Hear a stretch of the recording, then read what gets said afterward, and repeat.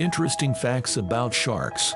Sharks are cartilaginous fish, which means their skeleton is made entirely of cartilage rather than bone. Sharks have been around for more than 400 million years and have survived five mass extinctions, including the one that wiped out the dinosaurs. Some shark species, such as the great white shark, can swim at speeds of up to 60 kilometers per hour. Sharks have a special sixth sense called the ampulla of Lorenzini, which helps them detect electric fields produced by other animals, including their prey. Many shark species have to keep swimming in order to breathe. This is because they rely on water passing over their gills to extract oxygen from it.